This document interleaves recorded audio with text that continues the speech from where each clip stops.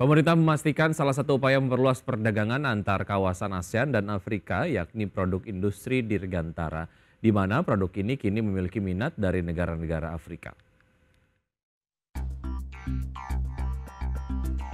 Pemerintah memastikan terus memperluas potensi ekspor ke negara ekspor non-tradisional demi memastikan peningkatan ekspor nasional.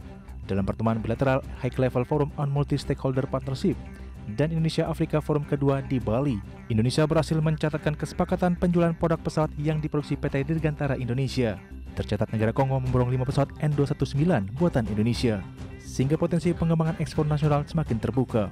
Deputi Bidang Ekonomi Kementerian PPN Bapenas Amalia Adininggaru Santi menyebutkan, kerjasama tersebut merupakan bentuk komitmen pengembangan industri kerdigantaran ke depan, apalagi lebih dari 40% dari komponen pesawat N219 diproduksi di dalam negeri.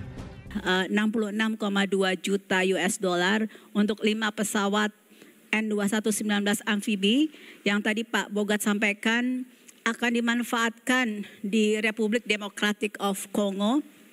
Uh, lima pesawat itu dan tentunya ini tidak akan berhenti sampai sana. Kita akan terus mencoba mengkomersialisasikan pesawat kar anak, uh, pesawat karya anak bangsa kita untuk kemudian kita bisa memanfaatkan tidak hanya di dalam negeri untuk kepentingan konektivitas, tetapi juga uh, di negara-negara selatan-selatan. Dengan nilai kontrak 5 unit pesawat sekitar 66,2 juta dolar Amerika Serikat, pemerintah berharap produk industri nasional mulai dikenal di negara-negara Afrika dan sekitarnya. Amalia juga menyebut beberapa negara lainnya juga tertarik dengan pesawat amfibi tersebut. Dari Jakarta, Raharjo Patmo, IDX Jenuh. Informasi yang masuk dalam isu viral kami hadirkan pemirsa usai jeda tetaplah di Power Breakfast.